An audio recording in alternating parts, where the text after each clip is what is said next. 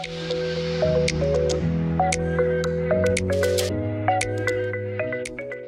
guys, welcome back to my channel. It feels so good to finally be sitting down and filming again and being able to talk about different products that I have in front of me that I've been wanting to talk about for a very long time.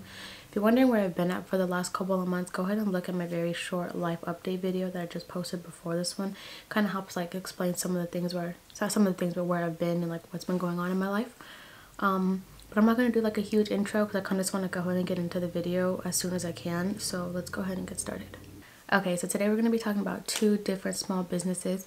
We're going to be talking about Luna's Apothecary and then we're also going to be talking about Bella Lovelies headbands. You guys have all seen her previous items that I've done a video on before. Um, I'll get back, to, I'll come back to her stuff in just a second, but I'm going to go ahead and focus just on the soaps right now. So small disclaimer, I was looking at her website right now and some of the soaps that I have in front of me are no longer available and that's not to her dismay, that's definitely on me. I had purchased these almost three and a half months ago and I've been meaning to do this review on them for a while and I just haven't got around to it. Well, that's a lie. I had time to get around to it, but there was like some things going on that kind of like stopped me from doing it and um, it's not her fault that some of these things went out um went out of stock so I am going to talk about some of the stuff that is no longer in stock just because I think there's like some key points to discuss about them and I'm also going to talk about the ones that still are in stock so you guys can like actually buy something that you guys see here. So when I originally purchased from her, I purchased three soaps from her because I wanted two to review and then I wanted one to use on my own before actually reviewing because I didn't want to promote something or talk about something that I didn't really know how the item like actually worked. So I will go ahead and will go ahead and say that these soaps are actually really really nice. Not only me, but my husband uses them also. So I had I have these two soaps with me. And I had it, like I said, I have a third one, but I don't even have it with me because it's completely gone. And that one was called Saved by the Bell. I was going to show you guys a picture of it, but I actually don't have, she doesn't have it on her website anymore. But um, just so you guys know this one is on her website and this one is no longer on her website but she has a lot of other different varieties. Um, i'll get to these in just a second. So let's talk about how the soaps felt when i actually used them. So i have a skin condition that i developed like immediately after i got pregnant. Um, you can still kind of see like the residue of it on my arm. I'll show you guys right now. I don't know if you guys can see this like ring on my arms right there. So that's actually my arms completely healed up now. This is just like, I don't want, I want to see like almost a scar that the um, skin condition that I had left me. I will say that changing my soap didn't make an impact like on how my skin reacted. It didn't cure my skin condition that I have. And I say skin condition because I literally don't know what it was. I went to my um, my doctor and they said like they weren't really sure either. They said it could have just been like something that came up when I had gotten pregnant, something that was like kind of dormant and once I got pregnant and my hormones kind of went out of whack that it kind of just emerged. So we're still not really sure exactly what it was. But um changing soaps definitely just definitely did help. I found that once I got out of the shower, like my skin specifically in that like certain area wasn't as irritated as it usually would have been with some of the other soaps I use. I'm just now getting into using beauty products that are sulfate free, kind of figuring out like what is like best for my body. So some of my previous body washes probably weren't the best for my skin, especially when I had a skin condition pop up. But thankfully I was able to get my hands on her soaps and like it really did help a lot. I did have to use like actual medication on it to like subdue and like kind of like really get rid of it but my irritation level of my skin was dramatically reduced once I started using the soap. Okay, so let's go ahead and get into the actual soaps that I have in front of me. I have one called Sunny Day. This one, I have like like I said, these two I haven't even opened or used because I wanted them to look fresh out of the package for the video.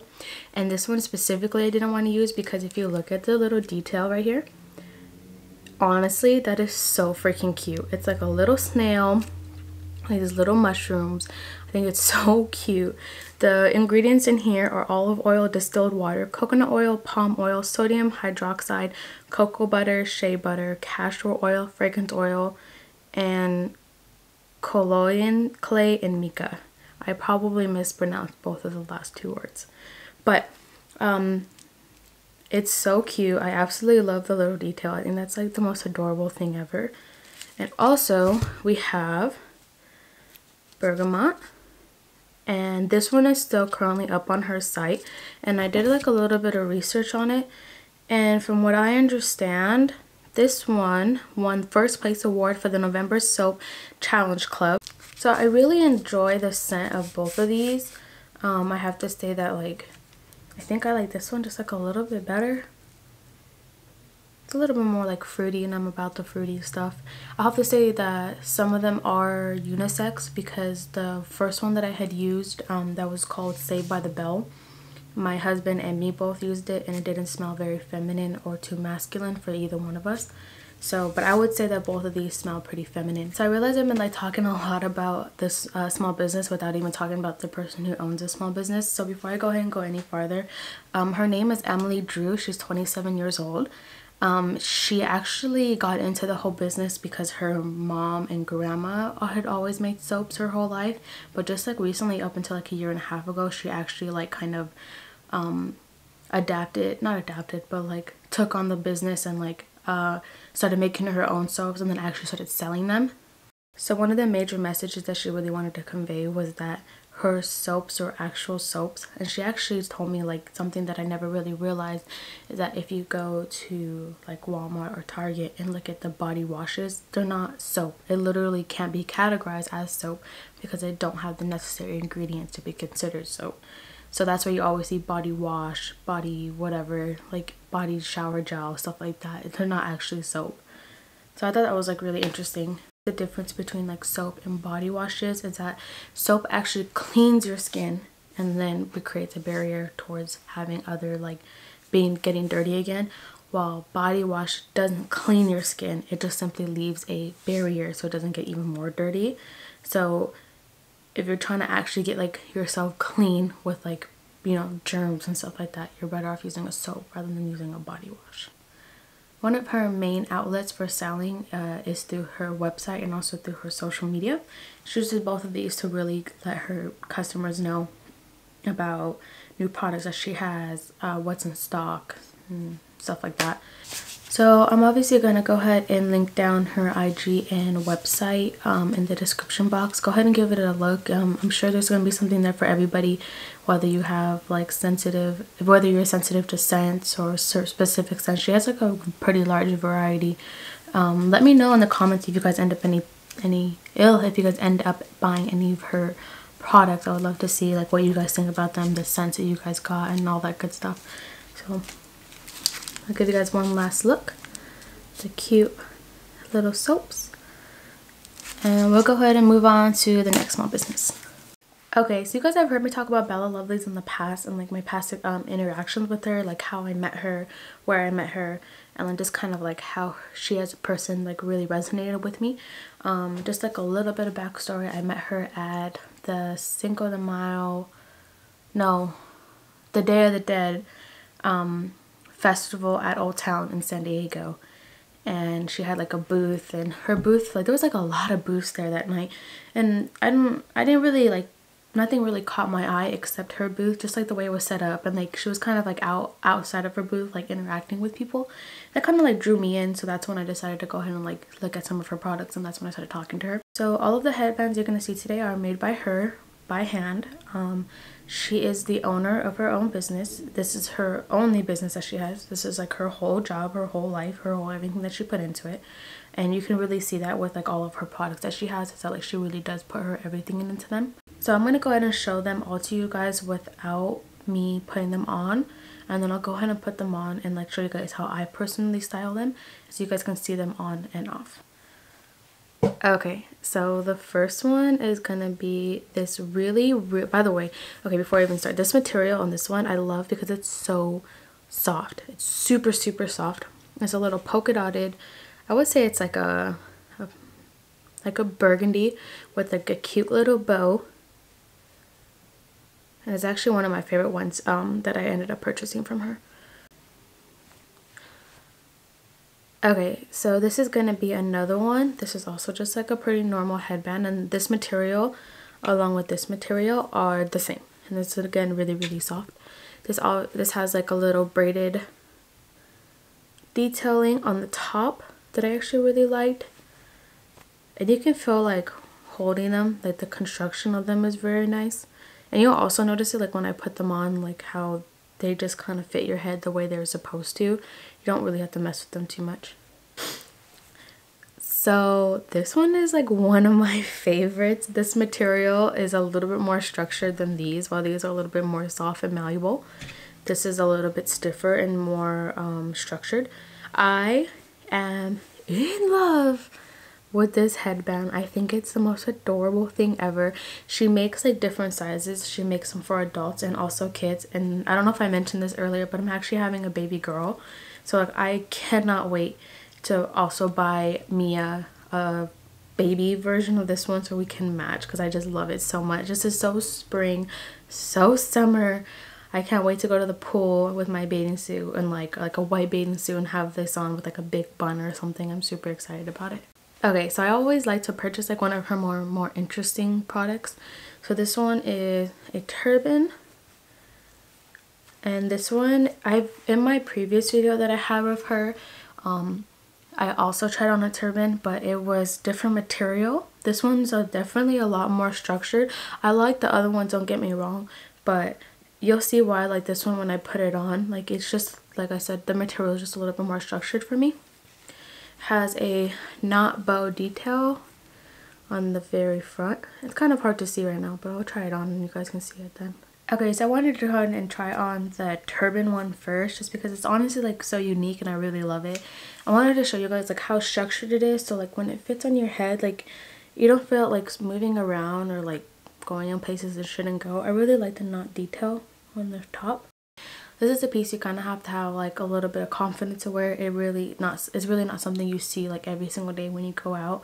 Um, she does say that when she does sell um, out sorry uh, she does say when she sells like when she's at like her flea market and stuff like that and people see these in person this is like a huge hit a lot of people like purchasing these so this is the little cheetah turban so I backed up just a little bit just because like, you couldn't really see the top of my head when I was so close. But I have my hair up in a bun and I'm going to show the next, this one and the next two up in my hair in a bun like this because this is how I would personally wear them. I don't really like wearing headbands like this with my hair down just like my, not because of the products, but with any headbands it looks funny on me. Like my head kind of like looks like an egg for some reason. I don't know, maybe it's just in my own head. But anywho, so let's go ahead and get started talking about this one. So this is obviously the big huge coral bow one. I am in love with it. I think it looks so cute. I love the thick band. I love, love, love the thick band. I have like kind of really big ears and it covers my ears. So I like that.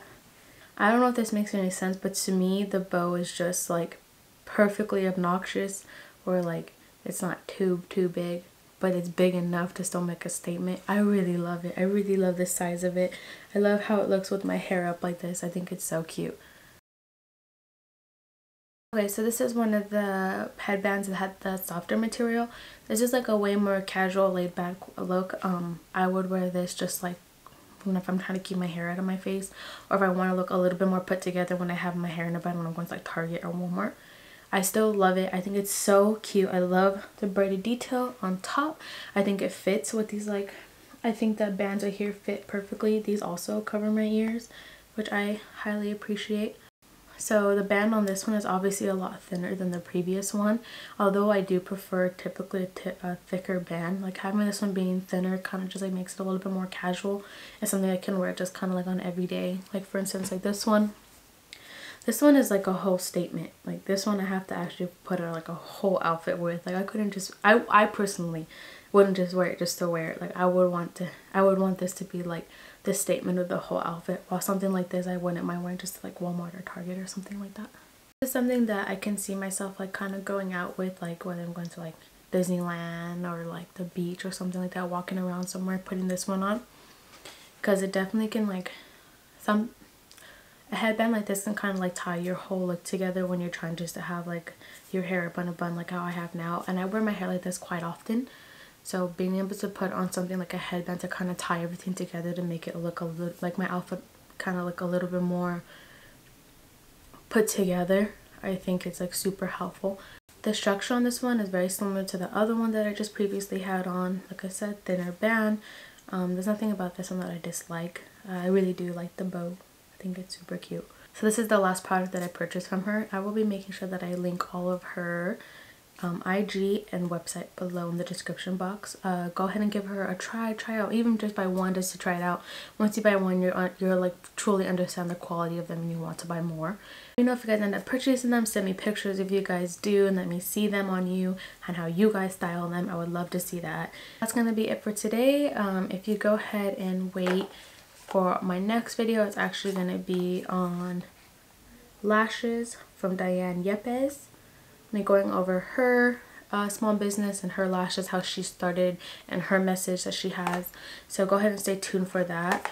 Um, hopefully it comes out within the next week. Hope you guys are having fun quarantine. I hope everybody's not too bored and that hopefully all this kind of blows over within a couple more weeks. Um, I'll see you guys next time. I'll talk to you guys later.